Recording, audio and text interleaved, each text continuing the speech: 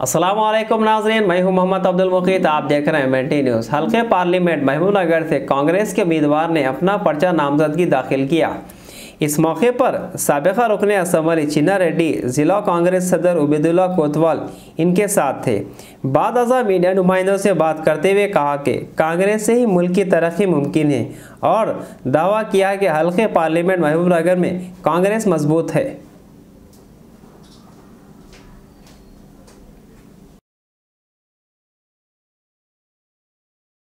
నియోజకవర్గ స్థానానికి కాంగ్రెస్ పార్టీ అభ్యర్థిగా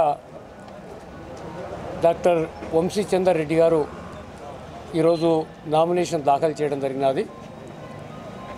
ఆ సందర్భంగా జిల్లా కాంగ్రెస్ పార్టీ అధ్యక్షులు ఉబిదుల్లా కొత్వాల్ గారు డిసిసిబి అధ్యక్షులు గౌరవనీయులు వీరారెడ్డి గారు అదే మాదిరిగా మన సంజీవ్ గారు మేము ఐదు మందిమి నామినేషన్ పత్రం దాఖలు చేసి వస్తూ ఉన్నాం.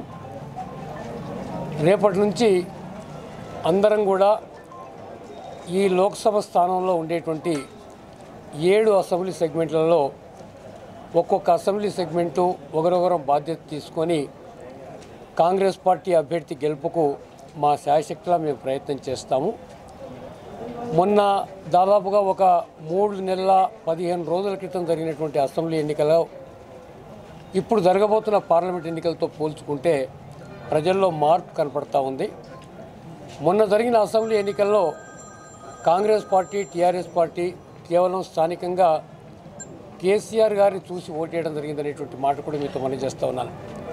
కానీ రేపు జరగబోయే ఎన్నికల్లో కాంగ్రెస్ పార్టీ బీజేపీ పార్టీ ఇప్పుడు ప్రధానమంత్రిగా ఉండే మోడీ గారికి రాహుల్ గాంధీ గారికి మధ్యలో ఎన్నిక జరగబోతా ఉందనేటువంటి మాట కూడా మీతో మనం ఉన్నాను అందుకనే భారతదేశం యొక్క సాంప్రదాయం ప్రకారంగా లౌకిక వాదానికి ప్రజల మద్దతు ఉంటుంది అన్ని కులాలు అన్ని మతాలు అన్ని ప్రాంతాలను సమానంగా చూసేటువంటి కాంగ్రెస్ పార్టీ దేశానికి స్వాతంత్రం ఇచ్చినటువంటి కాంగ్రెస్ పార్టీ తెలంగాణ ఇచ్చినటువంటి కాంగ్రెస్ పార్టీ ఈరోజు కాంగ్రెస్ పార్టీ దేశ స్థాయిలో అధికారంలోకి రావాలని ప్రతి ఒక్కరూ కోరుకుంటా ఉన్నారు. మరీ ముఖ్యంగా యువత ఏదైతే మోడీ గారు స్విస్ బ్యాంకులో ఉండే నల్లధనాన్ని తీసుకొచ్చి పదిహేను లక్షలు ప్రతి ఒక్కరి అకౌంట్లో వేస్తానని చెప్పి మాట తప్పాడు.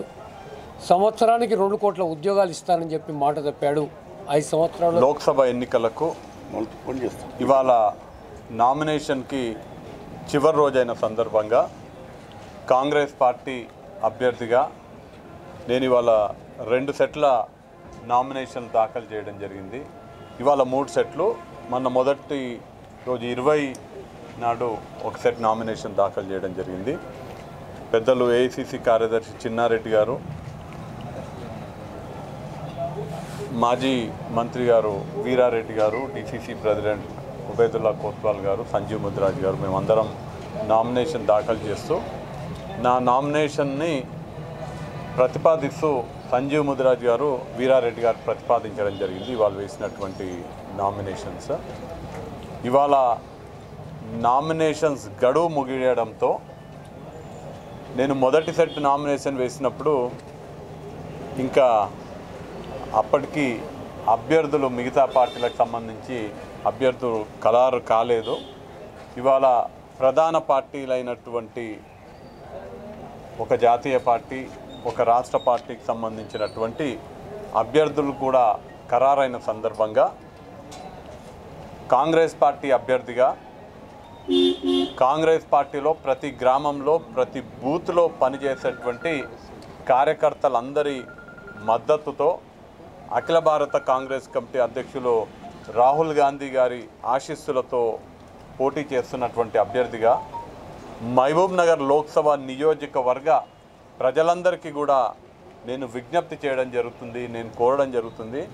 ఉన్నటువంటి అభ్యర్థుల గుణగణాలను చూసి పాలమూరు గొంతు పార్లమెంటులో ఎవరు సరిగ్గా వినిపించగలుగుతారు నిజాయితీతో రాజకీయాలలో నిజాయితీతో నిబద్ధతతో పార్టీ ఫిరాయింపులకు లోనవ్వకుండా ఎవరు నిజాయితీ గల రాజకీయాలు నడుపుతారో వారిని చూసి పాలమూరు భవిష్యత్తు కోసం మీ నిర్ణయాన్ని ఏప్రిల్ పదకొండవ తేదీ నాడు ఆలోచన చేసి నిర్ణయం తీసుకోవాల్సిందిగా నేను పాలమూరు ప్రజలని కోరడం జరుగుతుంది.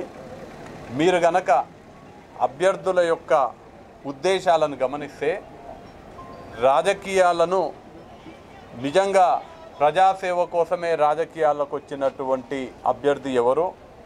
స్వార్థ ప్రయోజనాల కోసం ధనార్జన కోసం రాజకీయాల్లోకి వచ్చింది ఎవరు?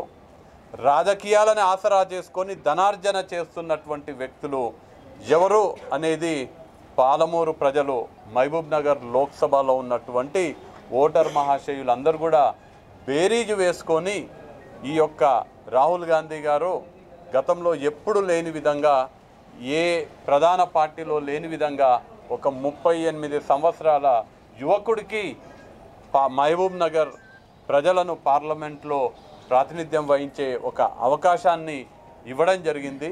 అన్ని విధాలుగా ఆలోచన చేసి మంచికి చెడుకి ఉన్న భేదాన్ని గమనించి తగు నిర్ణయం తీసుకోవాల్సిందిగా మహబూబ్ నగర్ లోక్సభ ప్రజలని నేను కోరడం జరుగుతుంది. అలానే నాకు సంపూర్ణ విశ్వాసం ఉంది. ఏ ఎన్నికల్లో అయినా గెలుపు ఓటములు ఆ పోటీ చేస్తున్నటువంటి పార్టీ కార్యకర్తల కృషి మీద ఆధారపడి ఉంటుంది.